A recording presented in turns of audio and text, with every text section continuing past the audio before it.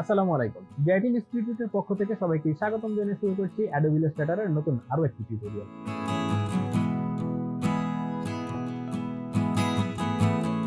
তো আজকে আমরা দেখব অ্যাডোবি ইলাস্ট্রেটরের সবচেয়ে গুরুত্বপূর্ণ একটা টুল পাথফাইন্ডার তো এই পাথফাইন্ডারের যে এলিমেন্টগুলো আছে, এগুলো কীভাবে ব্যবহার করতে হয়, চলুন দেখে আসি।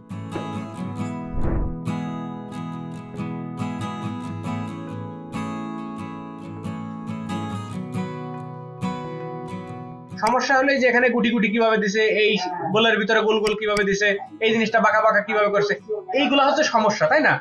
এইগুলা কীভাবে করবেন এইটা দেখানোর জন্য মাউস জোরে টিপলেও সমস্যা হয় না। সো চলেন আমরা জিনিসটা দেখি। প্রথমে এই সার্কেলের ভিতরে এই জিনিসটা কীভাবে নিছে একটা ইলিপস নিলাম। ওকে ইলিপসের কালারটা দিলাম ইয়েলো কি দিয়ে কালার দিলাম? আই ড্রপার আই ড্রপারের নাম মনে থাকলে মনে রাখবেন থার্মোমিটার আচ্ছা। সার্কেল নিলাম ঠিক আছে? সার্কেল নেওয়ার পরে এখন এই ধরনের লাইন আমার লাগবে। লাইন কোথায় আছে?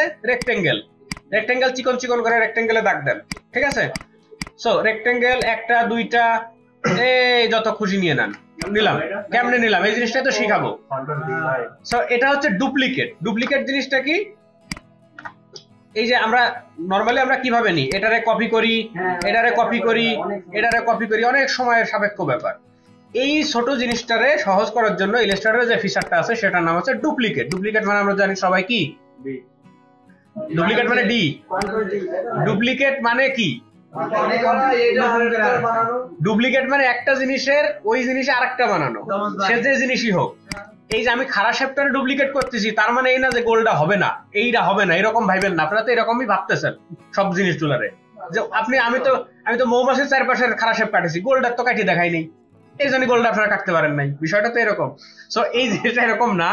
আমি লম্বা শেপ দেখাচ্ছি, তার মানে গোল, লম্বা, বেকা, তারা খুরা যা আছে সব ডুপ্লিকেট হবে। ডুপ্লিকেটের কনসেপ্ট কি? এটা নির্দিষ্ট একটা এরিয়া ফলো করে। কীরকম এরিয়া এই জিনিসটা একটা কপি দেখাই দিতে হবে তারে। আমি প্রত্যেকটা শেপের ভিতরে চাচ্ছি, এইটুকু গ্যাপ থাকবে। ঠিক আছে? একটা কপি করা হয়ে গেল অল্টার চেপে এবার কিবোর্ড থেকে যখন কন্ট্রোল ডি চাপবেন সরি এটা সিলেক্ট হয় নাই। কন্ট্রোল ডি চাপবো তখন একই দূরত্বে প্রত্যেকটা এভাবে কপি হইতে থাকবে। কন্ট্রোল ডি চাপতে হবে। আবার দেখেন আমি এটা এটা প্রথমে ড্রয়িং করছি।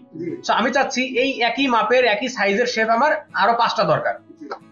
সো এই পাঁচটা কপি করার জন্য আমার এক- একটা একটা করে কপি করতে হবে এটা আমরা কনসেপ্ট জানি। কিন্তু এই জিনিসটাকে সহজে করার জন্য ডুপ্লিকেট একটারে কপি করছি এবার এই যেটাকে কপি করছি এটা সিলেক্ট থাকা অবস্থায় কিবোর্ড থেকে কন্ট্রোল ডি দেন। ডুপ্লিকেট ডুপ্লিকেট ডুপ্লিকেট ওকে এবার সবগুলারে কি করব? একটা গ্রুপ করি আপাতত। গ্রুপ করে এরা কীভাবে রাখছে? ওকে গ্রুপ করে হালকা একটু ব্যাখ্যা করে দেন। ব্যাখ্যা করে এর উপরে নিয়ে চলে আসেন। আনা হয়েছে না? এইবার গতদিন আমরা কি শিখছিলাম? এই পাথফাইন্ডার থেকে মাইনাস ফন্ট টন্ট হাবি যাবি ওকে হয়ে গেছে। যাই হোক। সো মাইনাস ফন্ট দিলে সবগুলো চলে যাবে, এই কনসেপ্ট আমরা জানি।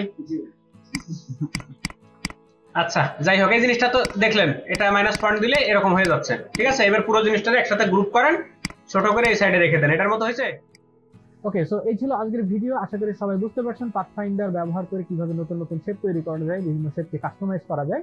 তো ভিডিওটি যদি ভালো লেগে থাকে, তাহলে অবশ্যই আমাদের চ্যানেলটি সাবস্ক্রাইব করবেন এবং বেল আইকনটি প্রেস করবেন। দেখা হবে পরবর্তী ভিডিওতে সে পর্যন্ত সবাই ভালো থাকবেন। আল্লাহ হাফেজ।